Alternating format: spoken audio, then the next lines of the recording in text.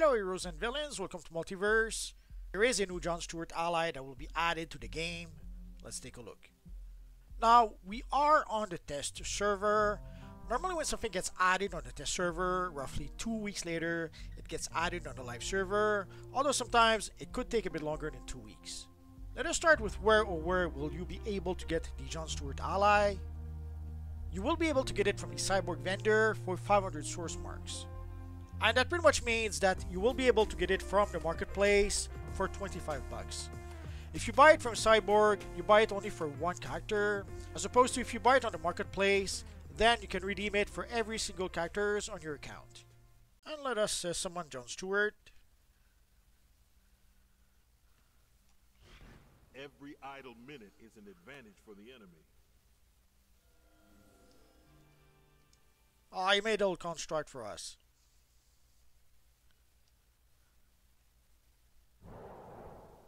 So let us go try him out in battle.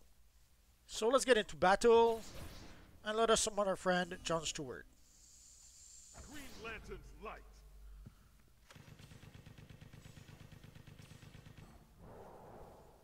Ah, and he's gone. Well, let us try that one more time. Engaging hostile threat.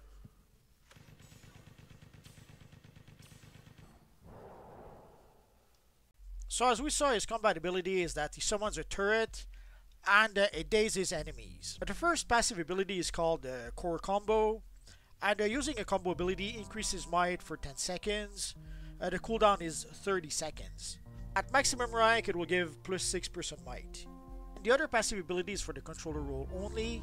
Using the group shield, the ability replaces the shield with a stronger Green Lantern shield. It also increases your vitality for 12 seconds, based on the number of allies shielded. So at maximum rank, your shield will be 35% stronger, and your vitalization will be a maximum of 16% stronger. Not sure why you would use this ability. Uh, already the shields, uh, especially if you play Quantum, your shields are pretty strong to begin with. And yeah, you gain the 16% vitalization. Your group power shield uh, gives you also power over time. So the shield shields your group and gives your group power over time, as opposed to if you change it for the Green Lantern shield, the Green Lantern shield will be 35% stronger, and it will give you more vitalization, but it will not restore power over time the same way this one does. So it's a weird trade-off, and considering that it takes a lot, a lot, a lot of resources to upgrade your ally to rank 10, I'm not sure it's really worth it to upgrade your ally to rank 10 for this ability. And let us try the ability. So again, it changes your group shield for a Green Lantern shield.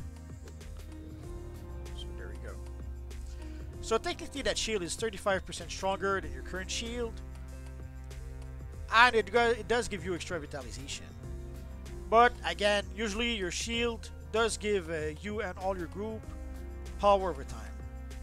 If you play Green Lantern the themed character, then yeah, I suppose you could decide to use that shield instead. Although if you're using a Green Lantern type character, you probably want to use the ally instead. When I get called out to other sectors, it's nice to know you're here in good old 2814. So you can see it's the exact same model, except uh, for the aura and the size. Uh, the ally is a little bit taller than the, the NPC we have here. And I was a bit surprised when I first summoned the ally that it did not have the aura. There we go guys, so we have a new Green Lantern ally in the game. So they've added John Stewart as an ally in DC Universe Online. Again, this here is the test server.